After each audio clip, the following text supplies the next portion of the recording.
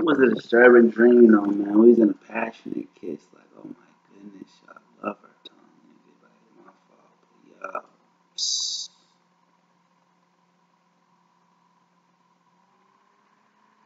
She just me how bomb kissing her is, nigga. Kissing you.